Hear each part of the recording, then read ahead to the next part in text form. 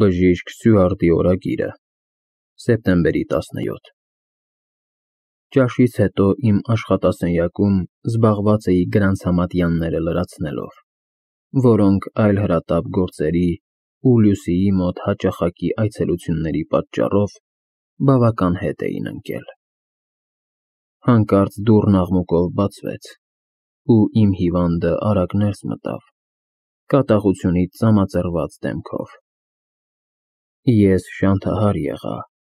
քանի որ գրեթե չլսված բան է, որ հիվանդն ինքն իրեն հասնի ղեկավարի աշխատասենյակ։ Առանց վայրկյանիս կանգ առնելու նա ուղիղ դեպի ինձ եկավ։ Ձեռքին դանակ ուներ, ու երբ տեսա, որ նա վտանգավոր է, փորձեցի սեղանը մեր մեջտեղում պահել։ Այնուամենայնիվ, իմ համեմատ նա շատ արագաշարժ ու ուժեղ էր։ Մինչ ես կկարողանայի հավասարակշռությունս պահել,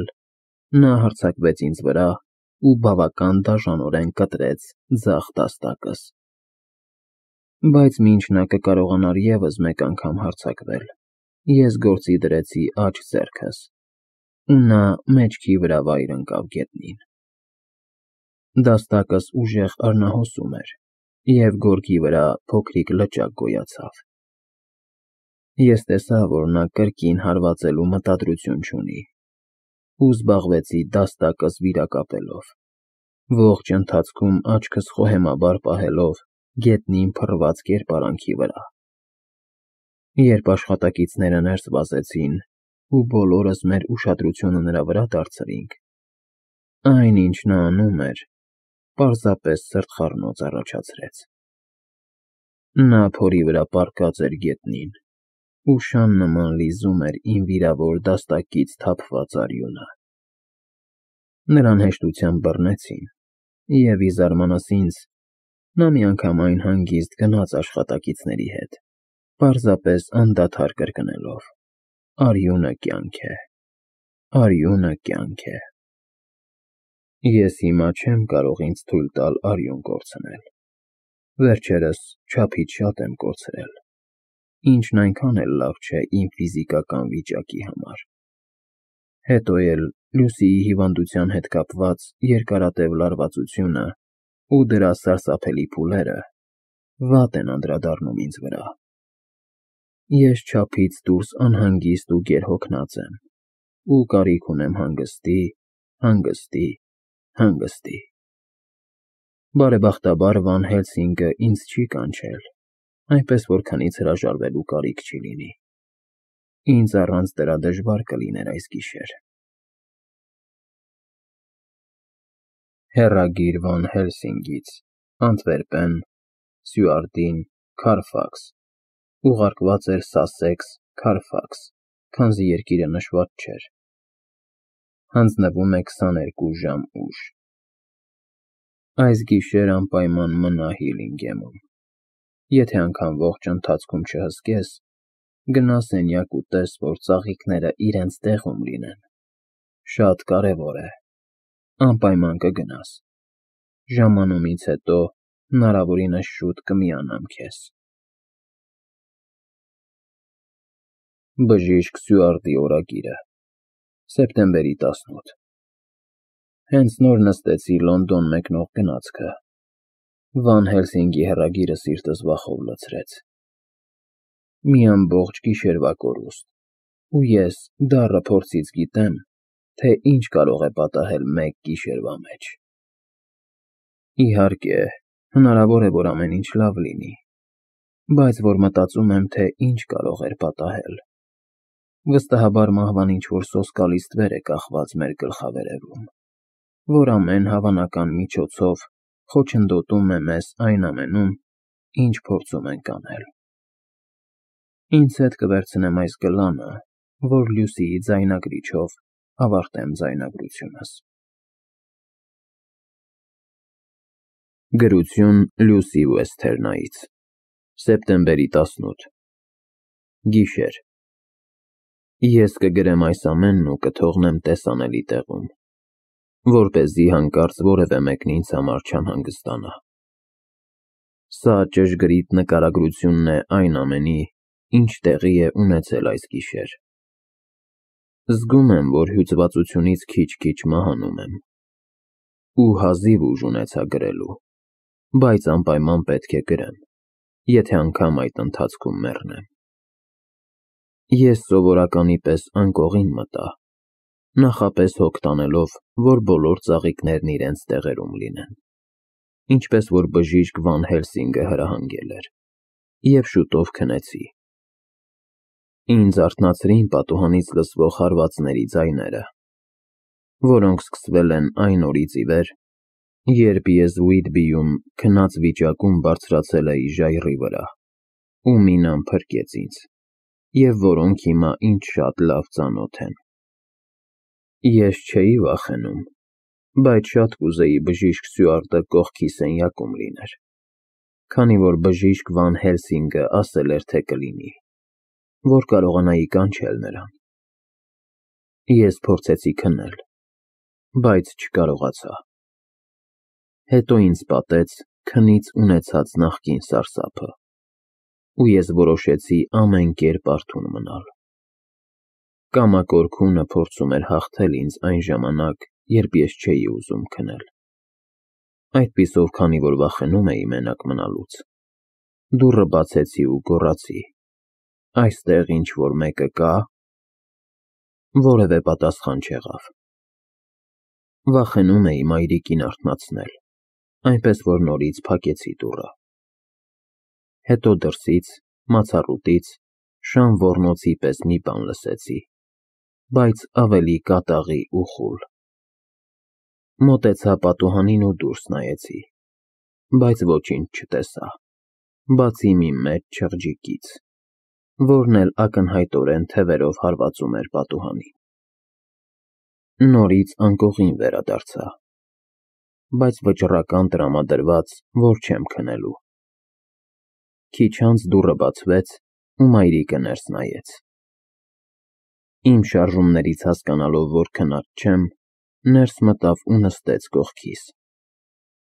Ինձ նույնիսկ սովորականից ավելի մեղմ ու քնքուշ ասաց.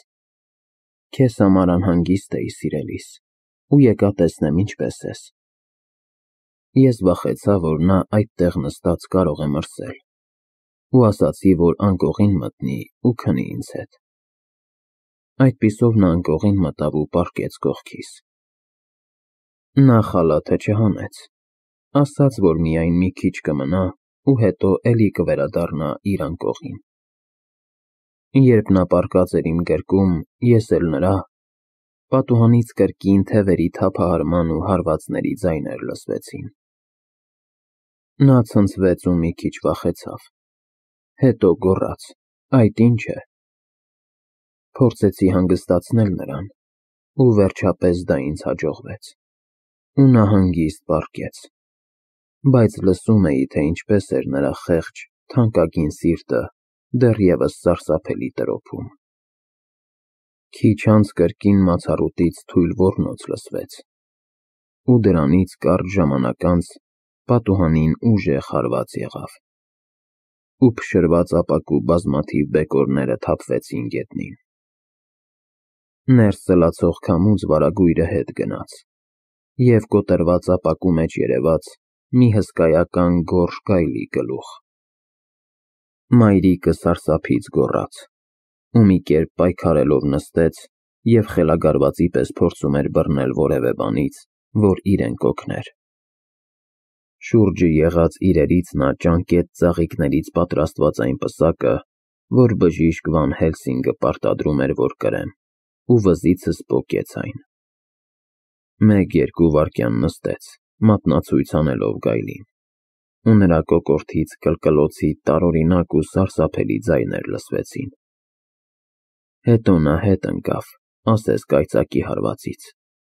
ու գլխով հարվածեց ճակատիս, ինչից մի պահ բժժեցի։ Սենյակն ու շուրջը ամեն բան ասես պտտվում էին։ Հայացքս սևեռեցի պատուհանին, բայց գայլը գլուխը հետ քաշեց, ու կարծես մանր փոշեհատիկների մի ամբողջ բազմություն ներս հոսեց կոտրված պատուհանից, անվերջ պտտվելով փոշու սյան պես։ որ նկարագրում են ճամփորդողները, երբ անապատում սամում է բարձրանում։ Ես փորձեցի շարժվել, բայց կարծես կախարդված լինեի, իսկ սիրելի մայրիկի խեղճ մարմինը, որն արդեն երևի սառչում էր, քանի որ նրա սիրտը դադարել էր բաբախել, ինձ իր ծանրության տակ էր պահում։ Ու հետո այլևս ոչինչ չեմ հիշում։ Հավանաբար շատ ժամանակ չէր անցել, բայց մինչև գիտակցությանս վերականգնվելը ամեն ինչ շատ֊շատ սարսափելի էր։ Ինչ֊որ տեղ մոտերքով անցնող զանգի ձայն էր լսվում։ Տարածքում գտնվող բոլոր շները ոռնում էին, ու մեր մացառուտում, կարծես մեզ շատ մոտ, մի սոխակ էր երգում։ Ես ցավից շշմած էի ու բթացած, ինչպես նաև սարսափած ու թույլ, բայց սոխակի ձայնը ասես մահացած մորս ձայնի նման լիներ, որ եկել էր ինձ մխիթարելու։ Այդ աղմուկը երևի աղախիններին էլ էր արթնացրել, քանի որ լսում էին նրանց բոբիկ ոտքերի ձայները իմ դռան մոտ։ Ես ձայն տվեցի, ու նրանք ներս մտան։ Եվ երբ տեսան, թե ինչ է պատահել, և թե այդ ինչ էր, որ ինձ վրա պառկած էր անկողնում, վախից ճչացին։ Քամին ներս ելացավ կոտրված պատուհանից ու շրխկոցով փակեց դուռը։ Նրանք բարձրացրին իմ թանկագին մայրիկի մարմինը, ու երբ ես տեղիցս վեր կացա, նրան պառկեցրին անկողնու վրա ու սավանով ծածկեցին։ Նրանք բոլորն այնքան վախեցած էին ու նյարդային, որ հրահանգեցի գնալ ճաշասենյակ ու մի֊մի բաժակ գինի խմել։ Դուռը մի պահ բացվեց ու նորից փակվեց։ Աղախինները ճչացին ու հետո մի մարդու պես գնացին ճաշասենյակ։ Ինձ մոտ եղած բոլոր ծաղիկները դրեցի սիրելի մայրիկիս կրծքին։ Հետո հիշեցի, թե ինչ էր ասել Վան Հելսինգը, բայց չուզեցի վերցնել դրանք։ Եվ բացի այդ, հիմա արդեն աղախիններից ոմանք գիշերը կնստեն ինձ հետ։ Ես զարմացա, որ ծառաները չվերադարձան։ Ձայն տվեցի, բայց ոչ մի պատասխան չստացա։ Այդ պատճառով գնացի ճաշասենյակ փնտրելու նրանց։ Սիրտս թուլացավ, երբ տեսա, թե ինչ էր կատարվել։ Նրանք չորսն էլ անօգնական ընկած էին հատակին ու ծանր շնչում էին։ Սեղանին դրված գինու գրաֆինը կիսով լիքն էր, բայց շուրջը տարօրինակ սուր հոտ էր տարածվել։ Մի չովս կասկած անցավ, ու ես հոտոտեցի գրաֆինը։ Դրանից օփյումով թուրմի հոտ էր գալիս։ Եվ նայելով պահարանի մեջ, տեսա, որ այն շիշը, որ մայրս օգտագործում է բժշկի ցուցումով, օ, օգտագործում էր, դատարկ էր։ Ինչ անեմ, ինչ անեմ։ Վերադարձա սենյակ, որտեղ մայրիկն էր։ Ես չեմ կարող լքել նրան, և ինքս էլ մենակ եմ, բացառությամբ քնած աղախինների, որոնց ինչ֊որ մեկը քնաբեր էր տվել։ Մենակ, մահացածի հետ։ Չեմ համարձակվում դուրս գալ, քանի որ կոտրված պատուհանից գայլի խուլ ոռնոց եմ լսում։ Օդն ասես լի է մանր փոշեհատիկներով, որ սավառնում ու պտտվում են և ներս մտնում քամու հետ, ինչպես նաև կապույտ ու մշուշոտ լույսեր են վառվում։ Ինչ անեմ։ Թող Աստված այս գիշեր ինձ պահպանի որևէ չարիքից։ Այս թուղթը կթաքցնեմ կրծքիս վրա, որտեղ էլ նրանք այն կգտնեն, երբ գան ինձ այստեղից դուրս բերելու։ Իմ թանկագին մայրը հեռացել է այս աշխարհից։ Ժամանակն է, որ ես էլ հեռանամ։ Մնաս բարով, սիրելի Արթուր, եթե այս գիշեր չփրկվեմ։ Աստված քեզ պահապան և ինձ օգնական սիրելիս։ Գլուխ տասներկուերորդ. Բժիշկ Սյուարտի օրագիրը Սեպտեմբերի 18 Ես անմիջապես ուղևորվեցի Հիլինգեմ։ ու տեղ հասա վաղ առավոտյան։ Կառքը թողնելով դարպասի մոտ, ծառուղով վերև բարձրացա։ Դուռը զգուշությամբ թակեցի ու հնարավորինս կամաց տվեցի զանգը, քանի որ վախենում էի անհանգստացնել Լուսիին կամ նրա մայրիկին, և հույս ունեի, որ միայն ծառաներից մեկնումեկը կմոտենա դռանը։ Քիչ անց, որևէ արձագանք չստանալով,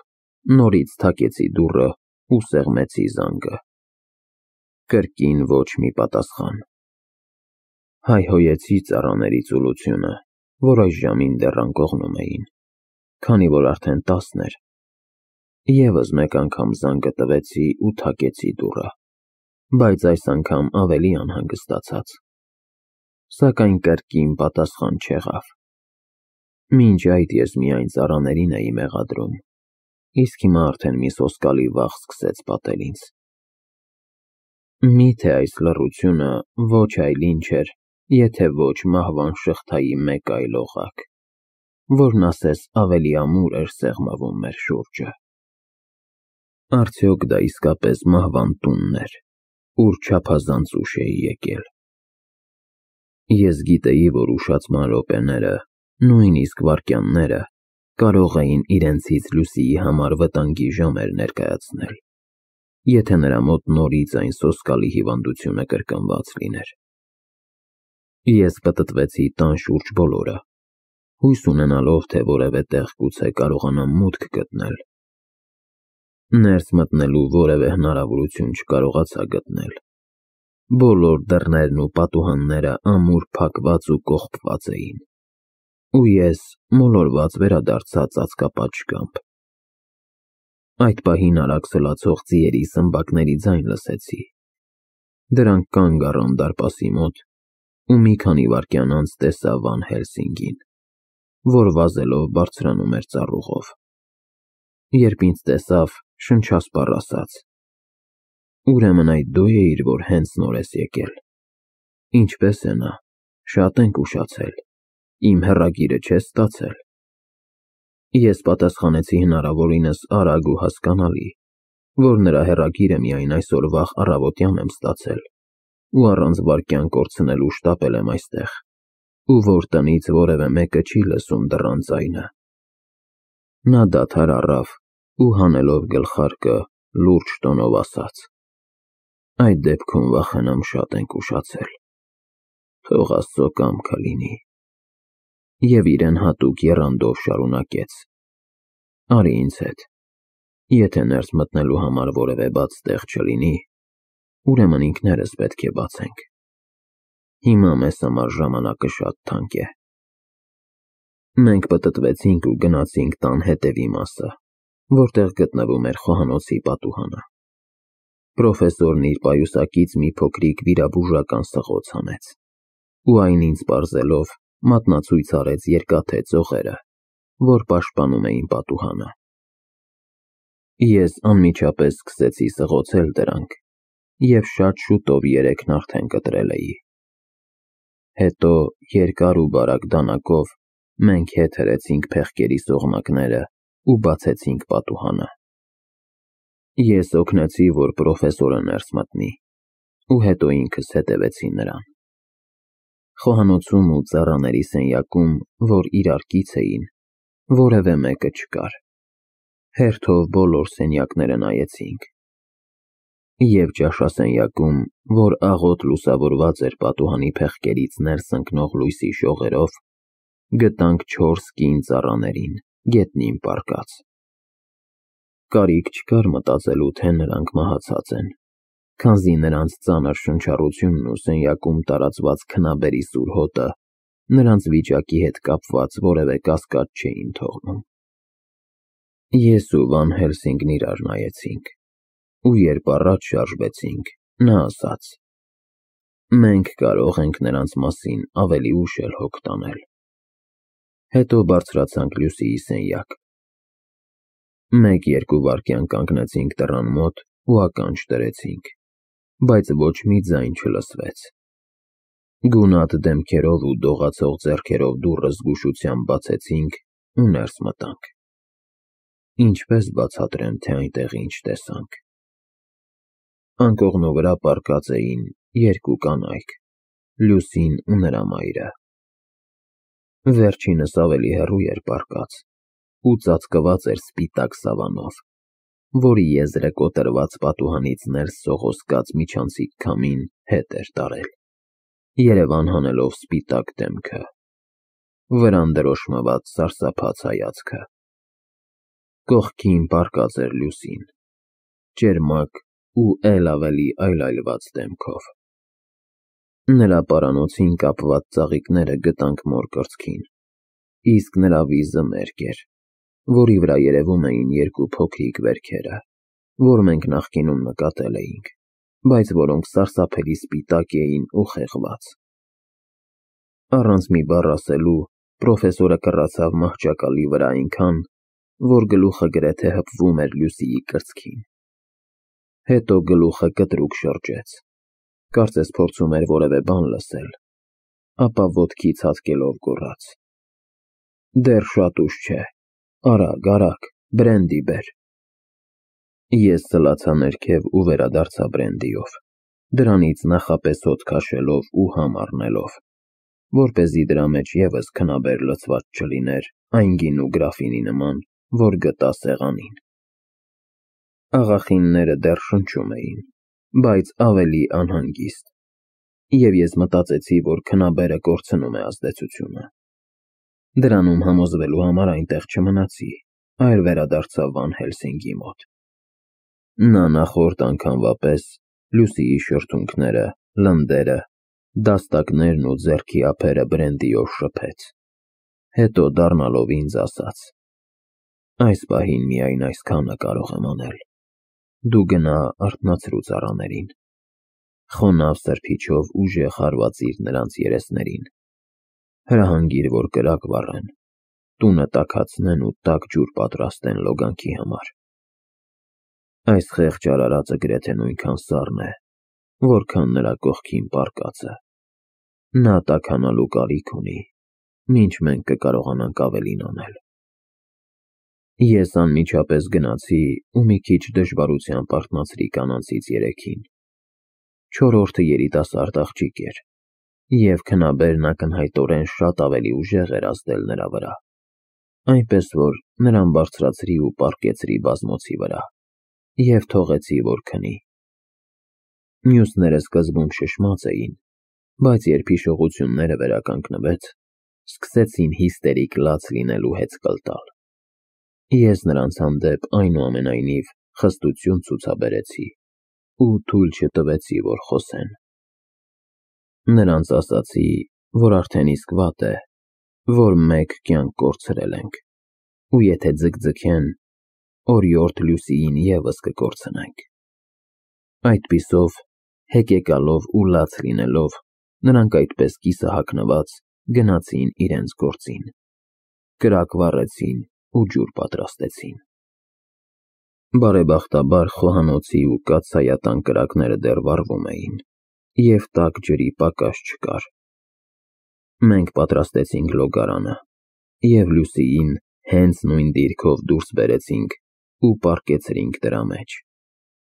Մինչ մենք զբաղված էինք նրա վերջույթները տաքացնելով, մուտքի դուռը թակեցին։ Աղախիններից մեկը արագ գնաց, շոր հագավ ու բացեց դուռը։ Հետո նա վերադարձավ ու շշուկով ասաց, որ մի պարոն է այնտեղ, որ լուրեր է բերել պարոն Հոլմվուդից։ Ես հրահանգեցի պարզապես ասել, որ նա պետք է սպասի, քանզի այս պահին որևէ մեկին չենք կարող ընդունել։ Աղախինը գնաց նրան տեղեկացնելու, իսկ ես, տարված գործով, բոլորովին մոռացա նրա մասին։ Ես կյանքումս երբեք չէի տեսել, որ պրոֆեսորն այդպես լուրջ աշխատեր։ Ես գիտեի, ինչպես որ նա գիտեր, որ դա լուրջ պայքար էր մահվան դեմ, և երբ մի պահ դադար առանք, ասացի նրան այդ մասին։ Նա ինձ այնպես պատասխանեց, որ ես ոչինչ չհասկացա, բայց դեմքի լրջագույն արտահայտությամբ ասաց. Եթե միայն դա լիներ, ես հենց հիմա կդադարեցնեի այս ամենը